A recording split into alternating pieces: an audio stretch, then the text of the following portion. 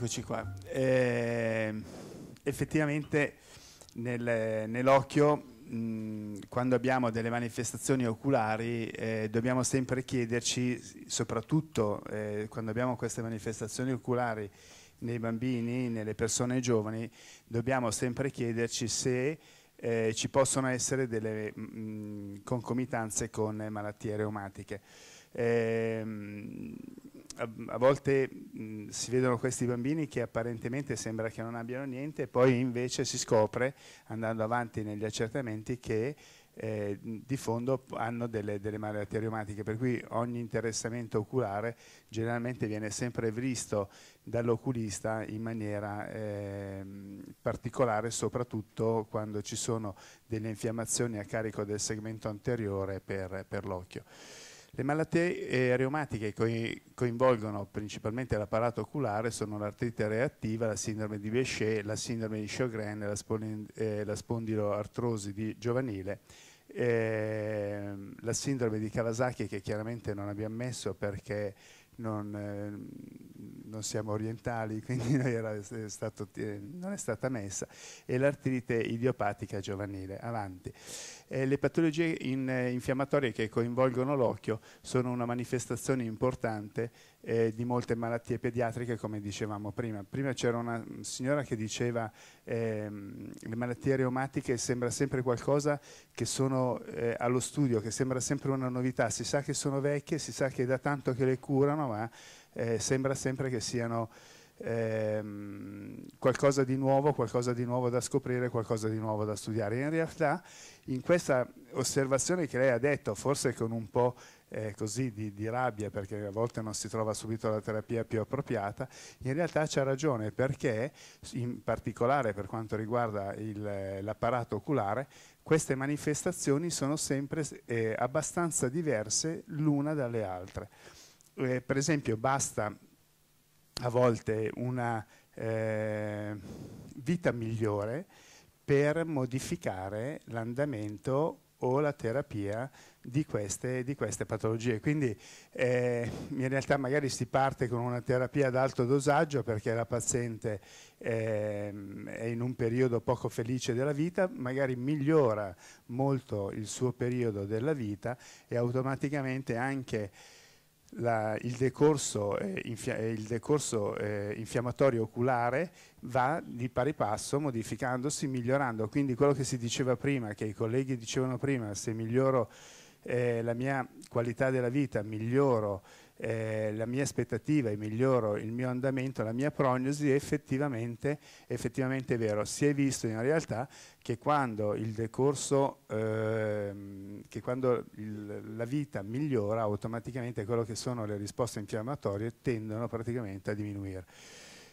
Il periodo in cui si manifesta l'infiammazione oculare eh, può anche variare perché eh, come dicevamo prima nella presentazione, può insorgere prima della manifestazione eh, della malattia reumatica o può insorgere a volte dopo eh, la, la, manifestazione eh, reumatica. Quindi vuol dire che io posso visitare un bambino che apparentemente i genitori non sanno che possa avere una malattia reumatica oppure questo ragazzo si presenta più avanti e si vedrà che ha eh, l'infiammazione oculare conseguente a una patologia eh, reumatica. Avanti. E quindi questa grande variabilità nel presentarsi eh, determina che dobbiamo avere un'attenta attenzione a questi pazienti che sono pazienti eh,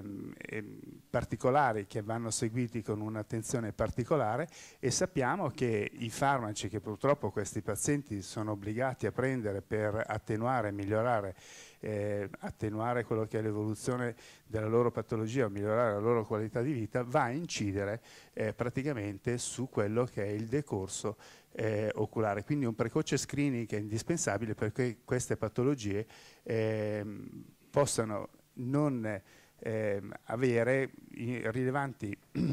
cause poi sulla capacità visiva perché per esempio eh, se noi non curiamo bene una eh, patologia reumatica che va a scatenare una eh, sintomatologia oculare possiamo avere delle iridocicliti anteriore, l'iridociclite anteriore è praticamente l'attaccamento dell'iride al cristallino e se l'iride si va ad attaccare completamente al cristallino per questo effetto infiammatorio che c'è, automaticamente ne consegue un attacco acuto di glaucoma, quindi non vado a perdere quello che è la vista legato alla patologia oculare, ma sarà una perdita della vista secondaria a quello che è stato l'evoluzione infiammatoria dell'occhio. Avanti. E quindi eh, quando si parla di malattie reumatiche si intende un ampio gruppo di patologie con un'essiopatogenesi e una prognosi molto diverse tra di loro e che hanno in comune tutte l'interessamento delle strutture articolari. È quindi molto importante verificare sempre nel tempo e monitorare sempre nel tempo quello che è l'evoluzione di questa patologia oculare. Eh, avanti. Mm, quindi ehm, noi sappiamo che le malattie reumatiche hanno un, una forte influenza su quello che è il piano sanitario economico sanitario perché sono patologie che possono creare delle invalidità e per quanto riguarda l'oculistica possono creare dei problemi, abbiamo visto, eh, sia per, a, a, carico della vista e quindi se abbiamo dei problemi a carico della vista conseguentemente abbiamo una limitazione di quello che è la capacità produttiva del, del paziente. Eh, che cosa dire delle, mh, purtroppo le patologie eh, reumatiche colpiscono un po' tutte le razze e mh, sono eh, a secondo del tipo di patologia possono interessare più un sesso più l'altro e a secondo della patologia, però in, facendo una classificazione di quello che è la totalità delle patologie oculari, delle, pato delle manifestazioni a livello oculare, eh, possiamo dire che sono abbastanza eh, ben diffuse le une sull'altra. Avanti. Eh, andando ad analizzare la popolazione per fasce di età si può notare come le patologie reumatiche colpiscono principalmente la popolazione di età superiore ai 60 anni, seguite dai pazienti compresi tra i 19 e i 60 anni e una popolazione giovane compresa tra i 18 anni. Ecco, io ricordo quando ero eh, studente mh, che lavoravo nella clinica universitaria che avevamo proprio un ambulatorio dedicato alle manifestazioni oculari dei bambini affetti da malattie reumatiche. Avanti. Ed eccolo qua, le patologie pediatriche eh, reumatiche possono coinvolgere l'occhio, l'orbita, la periorbita, quindi possono coinvolgere tutto quello che è l'apparato oculare, tra le altre cose può coinvolgere anche il, eh, il nervo ottico e può, e può coinvolgere anche quello che è l'apparato vascolare dell'occhio. Ecco, vediamo come, vedete, questa è una pupilla normale, vedete? Questa è una pupilla che praticamente si è cicatrizzata al cristallino. Vedete, qui praticamente il, la pupilla è totalmente cicatrizzata alla lente sottostante e così il fluido che viene eh, creato dall'occhio, che se andiamo a ricordare dai, dai tempi passati lo possiamo definire omoracqueo, che viene prodotto dal corpo ciliare, passa attraverso il, il cristallino che è questa lente e l'iride nella parte posteriore e attraverso il canale di Schlemm viene praticamente assorbito dai vasi, eh, dalle vene acquose esterne e quindi l'occhio all'interno viene praticamente sempre ripulito e viene praticamente sempre mantenuto in pressione, ma se qui noi abbiamo una cicatrizzazione completa e quindi una seclusione pupillare completa, quindi l'adesione dell'iride alla lente sottostante, automaticamente non avremo più la possibilità di far uscire questo fluido, quindi l'omoracqueo, di farlo passare attraverso il canale di Schlemm e quindi avremo un attacco acuto di glaucoma o una lesione al, alla testa del nervo ottico e quindi avremo un, un grosso problema perché il, le, il, fascio di fibre nervose del nervo ottico fanno parte del sistema nervoso centrale per cui quando noi abbiamo una lesione del fascio delle fibre nervose del nervo ottico non abbiamo più la possibilità di ricostruire queste fibre neanche con un eventuale trapianto di retina. in realtà abbiamo, si sta notando questo, che le cellule fortunatamente non muoiono dall'oggi al domani generalmente e quindi mh, esistono alcuni farmaci che tendono a, ri, a eh, riattivare le cellule che fortunatamente non sono state lesionate durante eh, l'aumento della pressione. Vedete qua siamo quindi a una uveite eh, anteriore con questa grossa infiammazione, qui invece siamo a un'infiammazione della sclera, questa parte qui che era bianca della sclera è diventata rossa perché eh, un'alterazione di quello che è la circolazione sanguigna al, al, a livello eh, congiuntivale sclerale praticamente ha determinato questa infiammazione.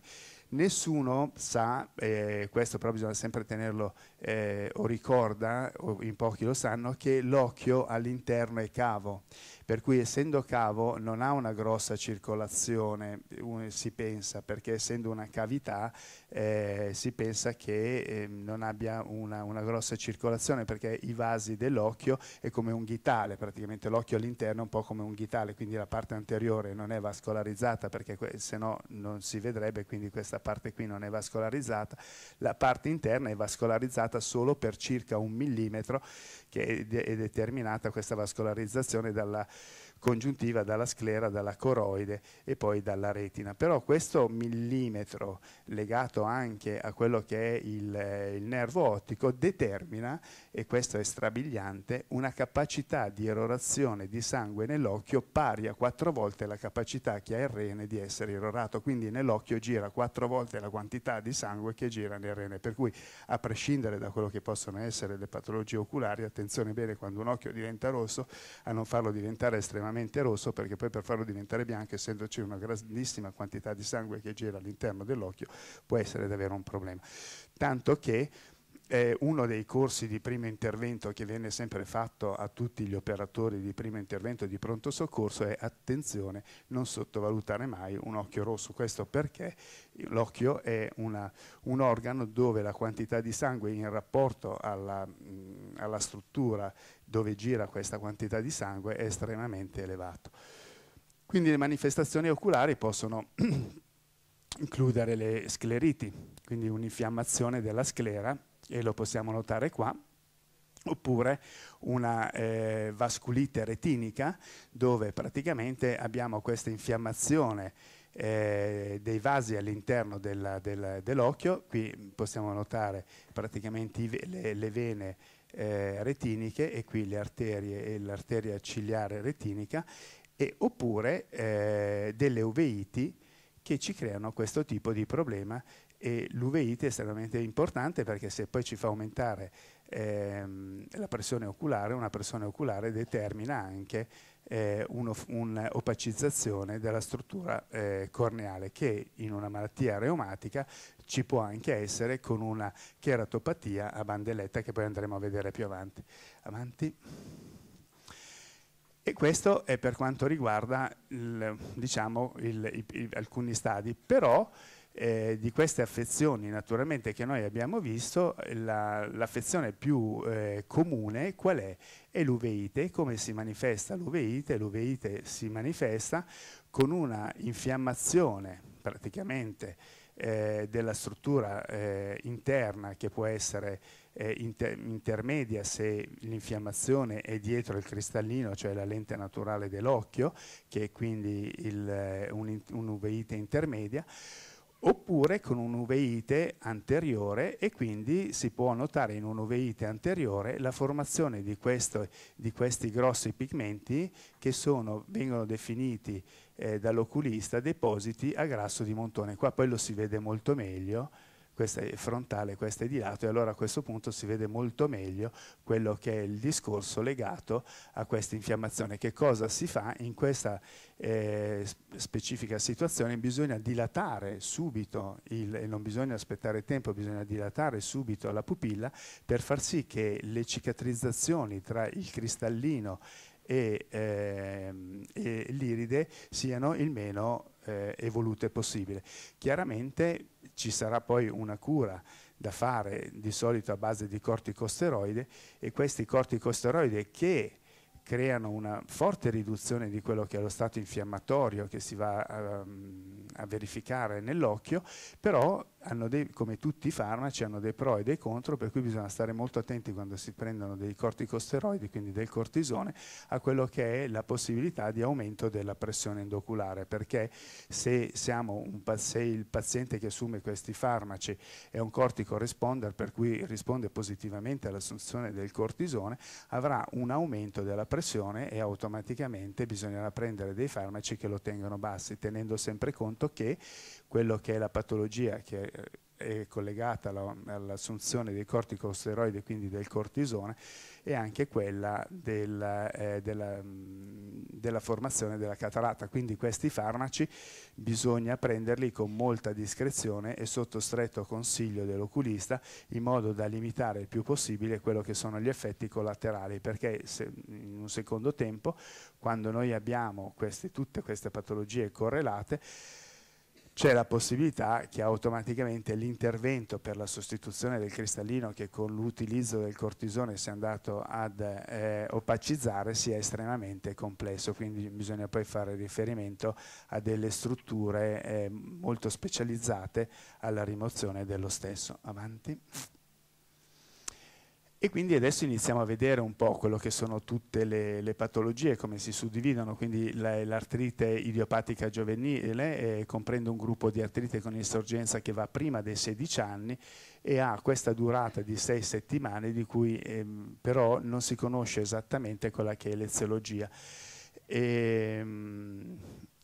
UVI, nei bambini procura una eh, uveite che più nel 75 eh, che in prevalenza nel 75%, come avevamo visto prima, è nella parte anteriore del, dell'occhio. L'occhio è diviso un po' in due strutture, nella parte anteriore, quindi se, parliamo, se dovessimo parlare di uveite, parliamo di uveite anteriore o con un nome eh,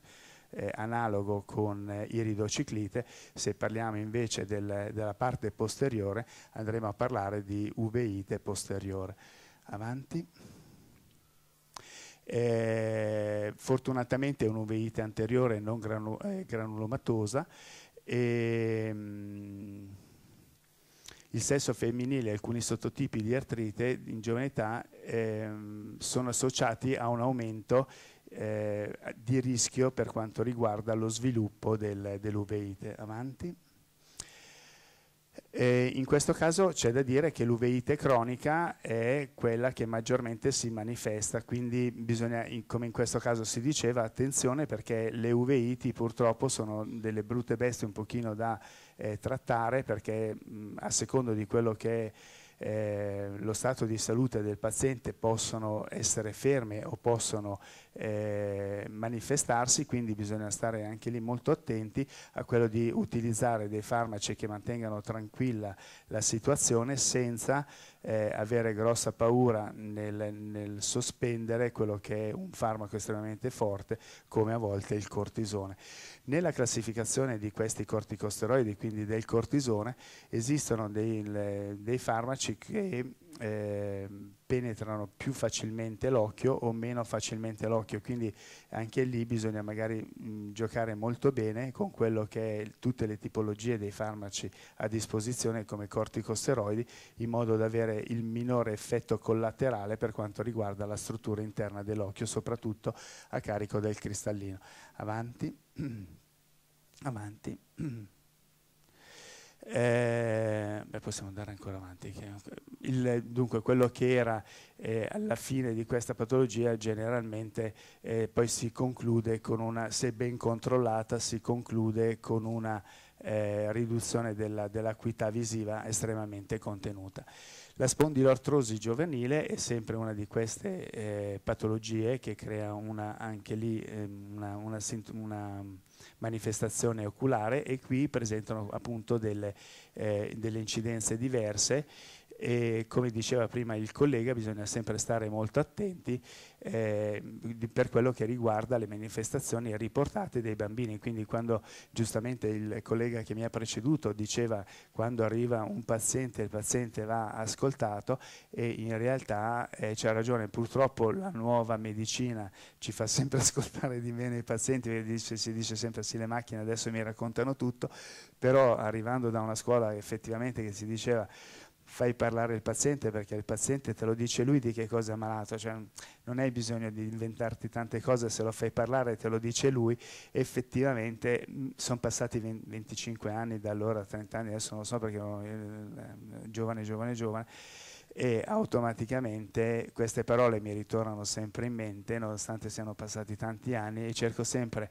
nonostante magari il, il, tempo si riduca sempre di più per noi perché la burocrazia sta diventando, adesso non per giustificare i colleghi, eh, però perché purtroppo la burocrazia si fa sempre più invadente nelle, nelle, nei nostri reparti, però cerco sempre di ascoltare il più possibile il paziente perché effettivamente quando il paziente riesce ad, eh, a raccontarti bene di che cosa soffre, che cosa e quelle che sono le sue manifestazioni cliniche, generalmente eh, ti ha già detto lui di che cosa ha bisogno e quindi il, è tutto molto più eh, semplificato. Avanti. Dunque, ehm, i pazienti generalmente in questo caso si presentano con una eh, uvite stavolta anziché monolaterale bilaterale, però fortunatamente anche in questo caso non è granulomatosa e il coinvolgimento eh, bilaterale oculare è comune, ma di solito non avviene eh, contemporaneamente. Avanti. I bambini con spondilotrosi possono sviluppare quindi forte dolore, fotofobia, arrossamento oculare, il che differisce dalla malattia sintomatica dell'artrite idiopatica giovanile oligoarticolare. L'ipopion, che è praticamente un eh,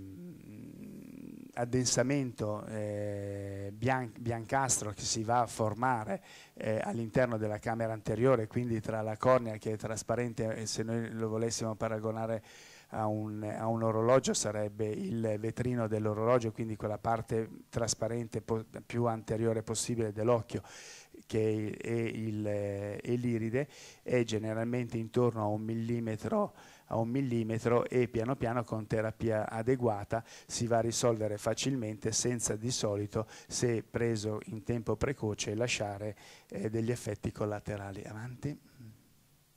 Eccolo qua, qui possiamo vedere praticamente, eh, questo è l'iride, vedete c'è una sorta, qui abbiamo una compliance di patologia, abbiamo una infiammazione del tessuto congiuntivale palpebrale, quindi del tarso, abbiamo una congiuntivite, un po' di episclerite e abbiamo questa formazione di popion. Qui il paziente è stato, ha ritardato eh, a farsi vedere e praticamente vedete che le, ehm, la circonferenza della, della, pupilla non è perfettamente anulare, vedete si, stanno iniziando a, sformare, a formare delle sfrange e queste sfrange praticamente sono lo sfaldamento del, dell'iride che si va ad, come se fosse una ragnatela che si va praticamente ad attaccare alla lente sottostante. Chiaramente questo è estremamente pericoloso perché vedete come la cornea incomincia questa parte trasparente che dovrebbe essere perfettamente trasparente, perde la sua trasparenza e perdendo la sua trasparenza determi determinata da un aumento della pressione intraoculare può portare poi a un attacco acuto di glaucoma anche perché questa formazione biancastra va a limitare la fuoriuscita va ulteriormente a limitare la fuoriuscita di umore acqueo dall'interno dell'occhio all'esterno dell'occhio.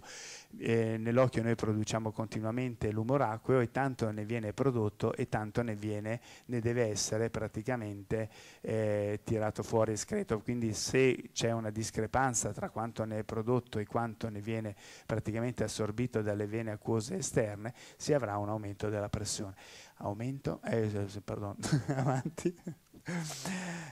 Ehm,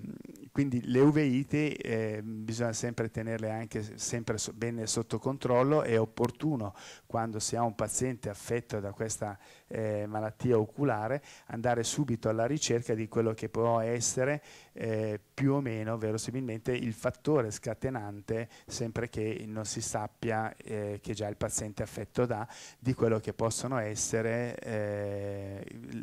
le concomitanze che hanno portato allo sviluppo della malattia.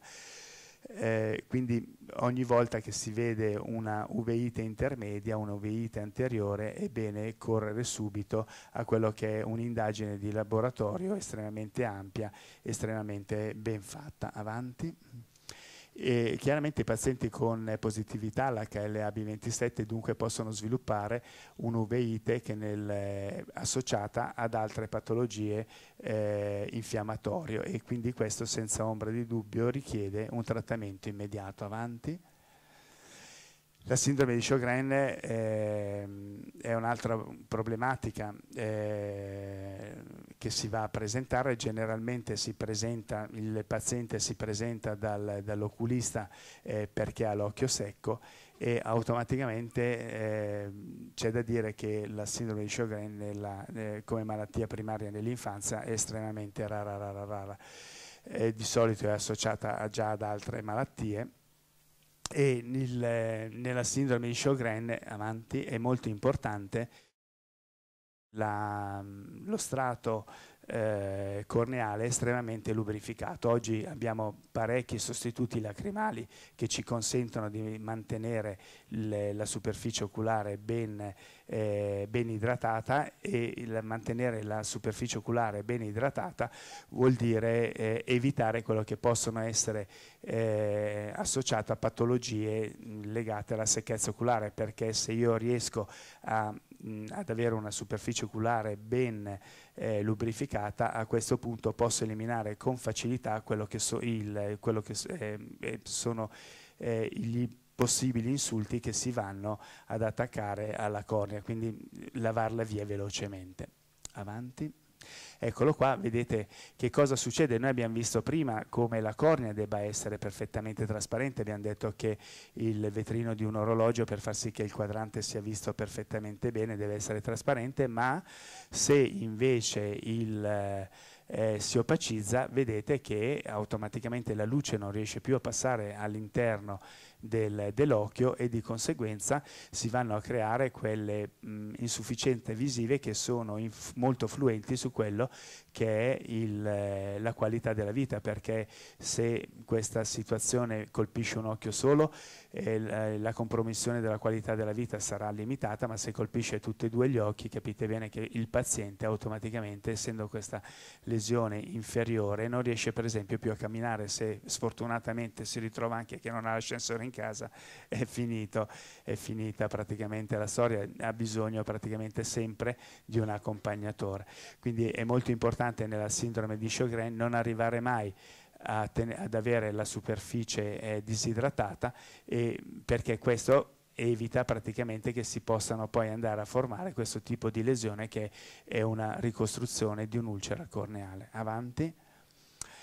E quindi quando noi ci troviamo con, eh, di fronte a una eh, sindrome di Sjögren andiamo a fare subito lo Schirmer test che sono quelle cartine bibule che vengono messe all'interno dell'occhio e se eh, qualcuno le ha già fatte sanno, si ricordi sempre che la misura deve essere superiore ai 5 mm di, ai 5 mm di bagnatura di questa cartina bibula perché così non si va incontro a quello che è la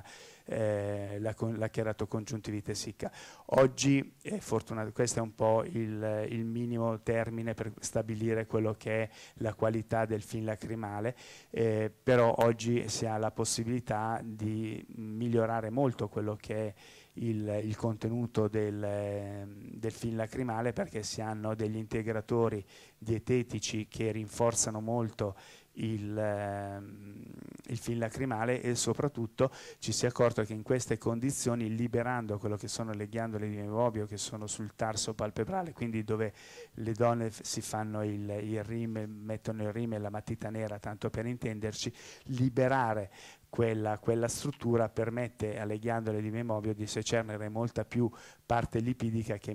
che miscelandosi con la lacrima permette di mantenere una buona eh, superficie oculare. Ricordatevi sempre che la lacrima non è solo acqua, ma le lacrime sono formate da tre elementi, dall'elemento acquoso, dall'elemento disinfettante e dall'elemento lipidico. Tutti questi tre elementi per la buona nutrizione e lubrificazione dell'occhio devono essere sempre miscelati molto bene tra di loro, quindi è molto importante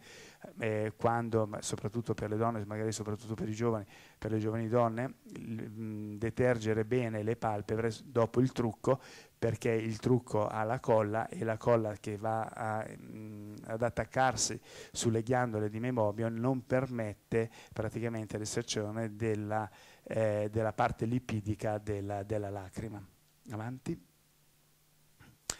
Eh, oltre a quello che mh, la cartina bibula, quindi è lo Schirmer test, che è il test più comune e maggiormente conosciuto, si può anche andare a colorare la superficie oculare, oppure eh, in questi anni è stata praticamente inventata un'apparecchiatura che va ricanalizzare la, il, le ghiandole di mebomio e quindi a ricanalizzare, a,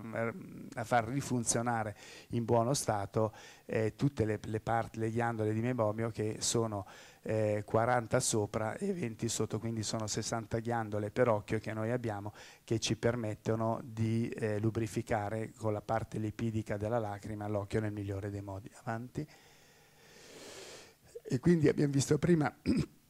quali sono alcune complicanze e poi bisogna stare, come si diceva prima, il, eh, la neurite ottica, quindi quello che può essere eh, la parte legata al nervo ottico, quindi noi non possiamo mai in presenza di una eh, malattia reumatica sottovalutare eh, quello che è la manifestazione oculare o eh, sottovalutare quello che è una visita oculistica perché eh, è sempre una malattia complessa e come diceva la ragazza prima sembra sempre qualcosa di nuovo ma in realtà non è qualcosa di nuovo, non è qualcosa che si deve scoprire ma è che ogni paziente purtroppo anche lo stesso paziente manifesta in funzione del suo stato eh, di, di benessere in, di quel momento eh, la, la, patologia. Ricordo di una paziente che perché gli era venuta la cataratta continuava a manifestare un'uveite intermedia, eh, con molto coraggio si prese forza e ormai non, non ci vedeva più, praticamente si andò a operare la cataratta e da quel momento non manifestò più l'uveite. Era sempre la stessa paziente, per di più operata, quindi un intervento è sempre un insulto un insulto e un insulto è praticamente porta un'infiammazione, ma portava un'infiammazione su un tessuto già infiammato perché aveva l'uveite. Quindi eh, ecco da dove si è preso il coraggio di operarla, tanto ormai non, non vedo più. E da, però da quel momento la paziente non ha più manifestato l'uveite intermedia, quindi il suo vitreo è sempre stato perfettamente trasparente. Quindi non prendeva più farmaci, non, non ha più manifestato la malattia, aveva solo migliorato la sua qualità di vita. E di questo ne abbiamo tanti casi. Quindi mh, difficile, cioè quando c'è un paziente con malattia reumatica è davvero difficile trattarlo, per cui anche per gli altri colleghi che stavo ascoltando eh, prima, complimenti perché la pazienza che ci vuole, l'attenzione che ci vuole e l'accortezza che ci vuole per questi pazienti effettivamente deve essere sempre estremamente elevata. Avanti. Eh, possiamo andare avanti così saltiamo la malattia delle tiepe e poi ok andiamo, andiamo avanti tanto è la, un'altra malattia sempre giovanile avanti avanti perché ormai il tempo sta andiamo andiamo avanti e vedete che ce ne sono tante solo che l'oculistica è bellissima ma è talmente grande che poi ce ne sono ok andiamo andiamo avanti avanti avanti la malattia andiamo avanti. Eccola qua, vedete come eh, in, nelle malattie reumatiche ci possiamo avere tante, eh, tante problematiche. Tenete pre presente che qui siamo nella malattia di Bechet, quindi con queste manifestazioni avanti, ma avanti avanti abbiamo manifestazioni sempre nella stessa, ah no, dietro, dietro di una, abbiamo nella stessa manifestazione, vedete, eh, anche la manifestazione oculare. Vi ricordate com'era l'occhio estremamente irrorato con quei vasi bellissimi che si vedevano prima, con la macula che era perfetta, qui abbiamo perfe una macula perfettamente atrofica e dei vasi che sono praticamente scomparsi totalmente e una testa del nervo ottico che praticamente ormai di sangue non ha più niente ed è, ed è totalmente atrofica e questo vedete come eh, nelle malattie reumatiche bisogna sempre stare estremamente molto attenti. Avanti. Vedete, ecco questa eh, l'iride, vedete l'iride poi da rotonda, da piccolina rotonda, se si interviene con, con, ritardo, come poi perde tutta la sua capacità di restringersi, qui ormai il muscolo sfintere interno non c'è più perché se n'è andato, e quindi la pupilla per sempre rimarrà così. Fortunatamente si può fare una plastica pupillare, quindi si può riportare meccanicamente dei, suturandola eh, la pupilla allo stato naturale perché se, chiaramente ne, ne, per chi soprattutto vive nelle zone climatiche ad alta, eh, ad alto, ad alta eh, luminosità praticamente si ritroverebbe con poi alterazioni sulla retina perché è come se facesse sempre le saldature avanti. E quindi qua vediamo che quello che abbiamo visto prima, adesso qui siamo un po' a quello che è il discorso che richiude tutto quello che sono le, le patologie, in questo caso nelle uveiti intermedie o nelle pasplaniti magari abbiamo malattie che, eh, che si manifestano da sole senza essere magari associate a eh, altre patologie, però generalmente vedete che anche in questo caso quando noi ci troviamo di fronte a un'uveite generalmente no, abbiamo sempre comunque o una patologia reumatica oppure una eh, eziologia infettiva. Avanti, avanti, perché il tempo ormai sta andando, avanti, avanti, avanti. Ecco, ehm, avanti, avanti. Ok, vedete come mh, tutte queste patologie vanno a creare delle, delle, problematiche, vedete questo è il primo andamento, quindi questo paziente non è stato, eh, è stato tirato avanti, Vedete, qui non è stata tirata via questa cheratopatia bandeletta, non è stata operata la cataratta, vedete, qui l'iride si stava praticamente eh, incollando, a distanza di anni la cheratopatia a bandeletta si è praticamente intensificata e la, la cataratta ha praticamente preso il sopravvento. Finito.